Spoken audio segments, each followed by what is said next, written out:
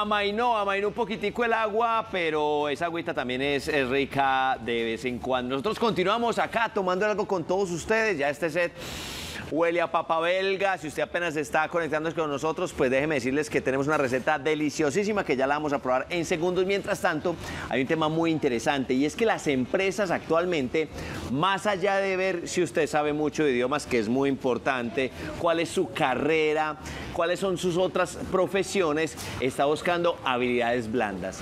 De ahí que una de ellas, tal vez una de las más importantes, que es la amabilidad, sea objeto de estudio entre todos los científicos y entre todas las personas del mundo. Pues estoy aquí al lado de un escritor, él se llama César Mejía Acosta y él nos está proponiendo un tema de la amabilidad que se llama el contagio de la amabilidad. Porque hay que ser amables. Entonces, bienvenido. Ve, Alejo, Gracias, por estar aquí, hombre. Bueno, el libro está en preventa, o sea, está recién salidito del horno. Sí, está recién cocinado, como se dice. ¿Cuánto tiempo te tomó escribirlo? Pues hombre, mira Alejo, lo que pasa es que esto es un método que yo vengo trabajando hace muchos años, como bien decías, con las empresas principalmente, y, y es cómo las personas se pueden integrar a la amabilidad.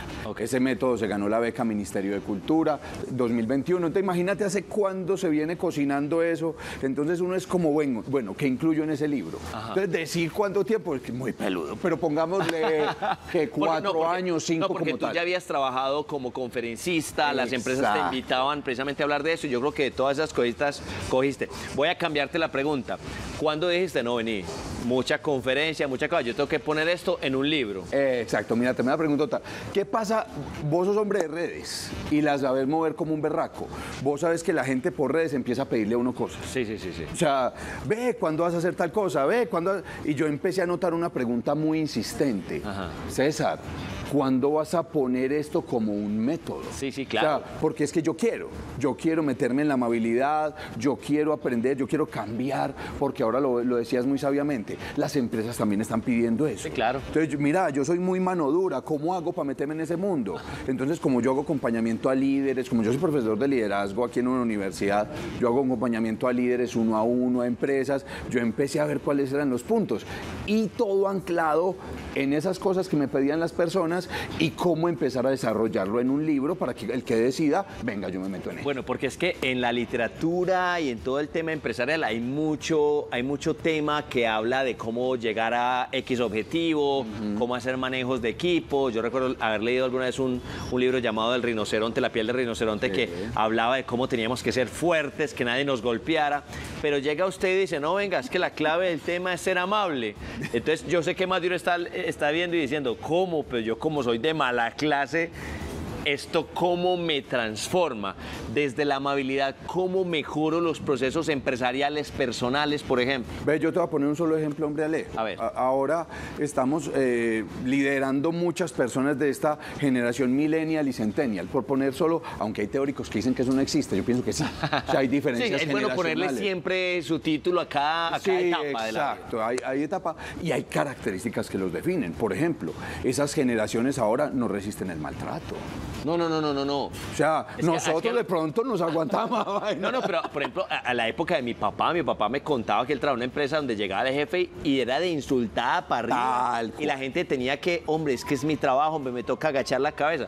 Hoy en día, una persona de 22, 23 años, el jefe lo insulta y chao, se, va. Exactamente. Entonces, para resolverte tu pregunta, un líder tiene que aprender a tratar bien a sus equipos. Y ni siquiera lo dicen mis libros. O sea, hay una, una eh, colección de libros de Harvard Business Review que eh, en la que escriben científicos exclusivamente que analizan la amabilidad en el liderazgo. En serio. Exacto, tal cual. Hay investigaciones científicas dedicadas exclusiva a eso. Entonces, ¿qué es lo que pasa? Que descubrieron que un líder de hoy para generar motivación, para movilizar a sus equipos, los debe tratar bien, los debe, digámoslo así, hacer sentir tranquilos. Que ahí es donde uno dice, en estas generaciones, en estos momentos, la gente no se aguanta eso. No, no, no. Como decían nuestros papás, venga, que es que yo necesito jubilarme. No, yo necesito que usted me trate bien, que me dé una idea de equipo, que me dé un, un- un propósito, un montón de cosas que estudiamos en el liderazgo, pero entre eso está que me traten bien. Venga, César, ¿cómo, cómo involucro yo eh, ese tema en mi día a día? Pues obviamente lo primero es vaya, compre el libro, está en preventa. Ya me va a contar de eso. En- en mis redes sociales. Pero, pero venga, ¿cómo yo involucro desde lo sencillo la amabilidad? Empezando por el saludo, por ejemplo, que hay gente que Tal no cual. saludaba en las empresas, por ejemplo. Te voy a poner una cosa muy simple, pero hay que, hay que romper esquemas mentales, hombre Alejo. Sí. Por ejemplo, el esquema de loro viejo no aprende a hablar. No, Es loro que viejo. ya, sí ya el hombre es así, ya nada que hacer. Exacto, sí se puede. Lo primero es, venga, de hecho la primera clave es prográmese para la amabilidad, porque a uno le meten la historia de, es que los, la- los rasgos de personalidad no se pueden cambiar, claro que pueden Es que su papá fue tosco, el abuelo fue tosco, Exacto. entonces él va a ser tosco. todavía. Una cosa, nadie está diciendo que va a hacerlo, pues, ah, que es que hoy, hoy, es que mira, yo les Me voy a programar, hoy voy a ser amable. Es- y- pero y se puede, en lo sencillo, en lo que vos decías. Hoy voy a entrar a ese ascensor y voy a decir buenos días. Sí. Cosas tan simples, empezar lo que yo llamo microamabilidades, que son pequeños cambios que yo sí puedo hacer. Y en la medida en que yo programo, yo lo puedo realizar. Entonces, ¿qué es programar? Un estudio de la Universidad de Maryland demostró que, por ejemplo, programar es poner en calendario. Eh, Poner literalmente fecha y hora Fecha y hora, ¿a qué? ¿A qué? a lo que vaya a hacer. Ah, Por ejemplo, un estudio de la Universidad de Colorado demostró que el café contagia amabilidad. Vos ahorita me, me- me ofreciste un café, ya empezaste bien. Entonces, ¿cuándo voy a coger como líder a mi equipo y le voy a programar, le voy a servir ese café? Ah, ok. Pues Está demostrado científicamente. Entonces, si yo a mi equipo le sirvo un café, ya arrancamos bien. Óigame, qué interesante, sobre todo porque imagínese, pues yo te digo, yo he tenido muchos jefes en la vida, pero no recuerdo que algún jefe me haya hecho, ve, te voy a servir un cafecito. Empiezo por ahí, o sea, Imagínate lo que está rompiendo. Y, y yo, eh, ¿Por qué es importante eso, hombre Alejo? Porque eso implica que yo no tenga que ser sonriente, abrazador. No, tuve un acto de amabilidad. sí, sí. Programé una microamabilidad, una amabilidad pequeña que es. eso fácil. hace algo en mí físicamente que me vuelve más productivo. Todo me vuelve más productivo. Porque, ¿qué pasa cuando yo estoy concentrado en la agresión, en la pelea? Mi cerebro es feliz concentrándose en esas cosas negativas. claro, claro, claro. Entonces eso Es hace más que- fácil. Claro, es que, es que eso es tan automático. Entonces, cuando yo lo cambio y me programo en las positivas, mi cerebro deja de perder tiempo peleando él en, en ese rumiar que se llama en psicología. Entonces, ese tiempo que yo dejo de perder peleando conmigo y con otros, lo empleo en aumentar la productividad. Ah, ve, qué interesante. Bueno, ese tema definitivamente está delicioso. Tenemos preguntas en redes sociales porque obviamente la gente empezó a decir, venga, ¿cómo así? A ver que esto está muy interesante. Camila, ¿qué tenemos por ahí? ¿Cómo están? Nos preguntan cómo puedo iniciar a aplicar esas ocho claves de la amabilidad a mi vida diaria. A ver, es que ya, ya saben que hay ocho, o sea, ya, por ahí, ya, te leyeron, ya te ocho, o sea, leyeron. ya están viendo. ¿Qué pasa? Es que estaba haciendo un pelín de ruido en mis redes. bueno, Sí. pero a ver, son ocho, ¿qué, qué son, ¿qué es lo que está preguntando el televidente? ¿Son Eh, ocho qué? Lo que pasa es que el método, eh, que también pasó a ser libro, se llama Las ocho claves de la amabilidad. Son ocho. Entonces yo por eso le he estado tanto, haciendo tanto ruido, porque es como un paso a paso. Pero la gente puede tomar por cualquier lado. Ya te mencioné dos. de- de factores. Programar y microamabilidades. Ok. Pero, por ejemplo, hay otra. A mí me encanta hacer esta pregunta. Yo voy para la oficina. Sí. Yo le hago una pregunta a los que están aquí. Uno normalmente, ¿qué prepara para una reunión de trabajo? Pues el informe, lo que tenga que hacer. sí, ya. Si hay que hacer una presentación, yo le hago la pregunta a la gente. sí. ¿Quiénes preparan las emociones que se van a dar en esa reunión? No, las emociones, ¿no? Nadie, ¿sí o no, Alejo? Sobre todo porque Entonces, uno, uno supuestamente no sabe cómo le va a ir, no sabe cómo va a aprender. Tal cual. Pero mira, por ejemplo, uno sí puede preparar algunas cosas, uno no domina todo. Pero, por ejemplo, yo ya sé si hay un compañero de trabajo que el que tiene la pullita, el comentario maluco. Sí, sí, sí. Entonces, ¿qué es preparar en el antes? Estar preparado a eso, ¿no? Exacto, pero para responder desde la serenidad. ¿Por qué? Porque miren que uno sí se prepara, entre comillas. Pero, ah, yo entro y esta muchachita me dice cualquier cosa, yo sí le voy a responder. Nos preparamos para aumentar la pelea. Aquí es para demostrar el autocontrol, que es otra de las claves, Sí. para no caer en el engancharse. Y uno, uno desarma al otro, ¿no? Cuando el otro le busca pelea y uno no cae en ella, uno, uno lo desarma. Camila, ¿hay más preguntas? Claro que sí, bueno, ya nos preguntan más como tips para aprender a ser un buen líder. Ajá. Camila, mira, hay muchos tips. Primero leas el libro. Ese es el primer Sí. tip. Leas el Sí, libro. en- y, y la verdad, hombre, Alejo y Camila, es que hay muchas cosas que yo estoy poniendo en mis redes sociales. Pero, para, por ejemplo, para aprender a ser un buen líder, hay que empezar a dejar un montón de taras, si las queremos llamar de alguna manera, como por ejemplo, es que para mí que me presten atención, yo tengo que hablar duro, tengo que, hab- que hablar feo. No, yo como líder puedo preparar cosas. Eh, yo no sé si saben la qué significa la palabra discutir. Discutir, pelear, al- alegar. Ah, mira, para nosotros es eso. Pero ¿sabían que es una palabra del latín y discutir significa resolver? ¿Ah, sí? Si yo me Sí, es que discutir, la palabra discutir no es, o sea, la entendemos desde lo negativo, pero, hombre, estamos discutiendo un tema interesante, no quiere decir que estemos peleando. Exacto, pero nosotros los Ah. colombianos, Le ay, venga, vamos contexto. a, exacto, vamos a discutir. Yo ya llego con las armas. Uno de, dejen de discutir, hombre. Ajá. Entonces, por ejemplo, otra recomendación de un líder, no porque el tema sea duro, yo llego hablando duro. Entonces, ¿eso qué significa? Todo lo contrario.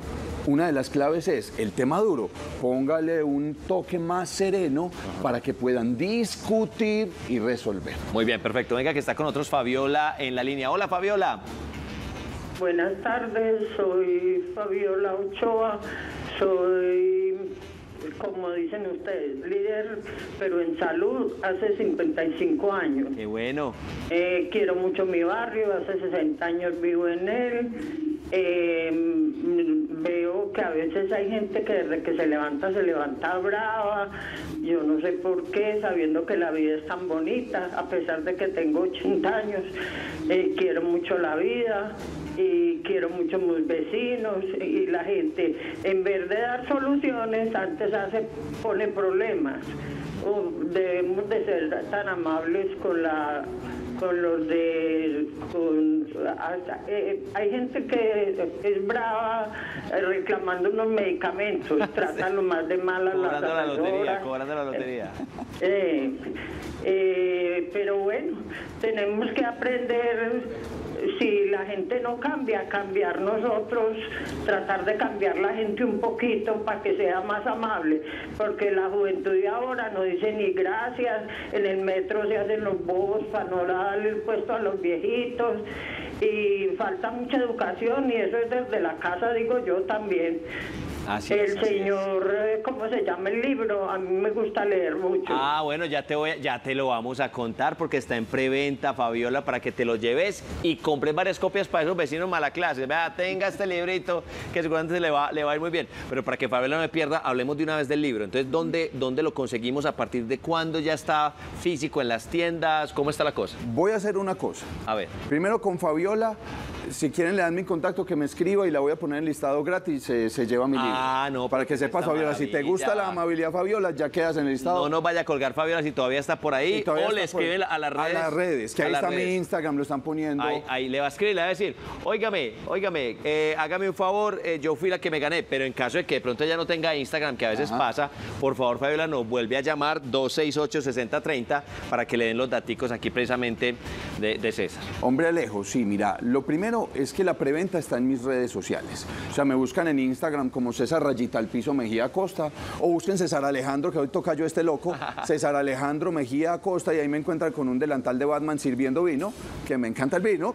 Eh, y me preguntan, también estamos en Facebook como Contagio de la Amabilidad, estoy en LinkedIn o LinkedIn. Eh, la verdad es que eh, estoy en casi en todas las redes sociales, hay una que no porque cae uno mucha pelea a veces, pero de resto, búsquenme en redes sociales, me preguntan y ahí van a ver de Y hecho ahí van a toda ver dónde el libro, cómo, todo, cuándo y todo, todo el todo. cuento. Bueno, perfecto. Hay más, hay más preguntas en redes sociales, Camila.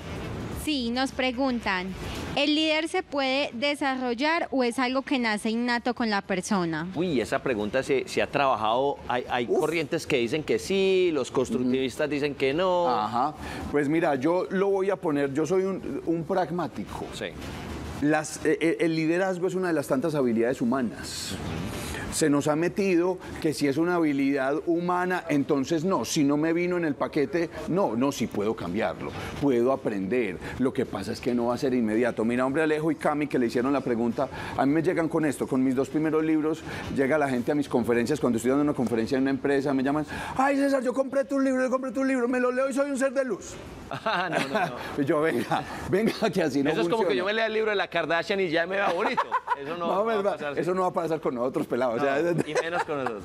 El caso es que, más allá de eso, sí puedo iniciar un proceso. Claro. Digamos que yo no nací con las condiciones de un líder. Yo no nací con, con las habilidades comunicativas de este loco, de Alejo. Las puedo construir.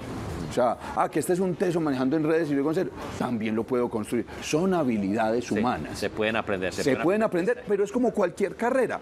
Los que son ingenieros, psicólogos, comunicadores, ¿cuántos tuvieron? Cinco años. No, tuvieron que hacer un proceso pues precisamente Exacto. para eso. Igual son las habilidades humanas y de liderazgo. Eh, César, felicitaciones por el libro, felicitaciones por volcarte a un tema eh, que cambia a las personas, que cambia a las empresas, que necesitamos empresas más amables, más cordiales.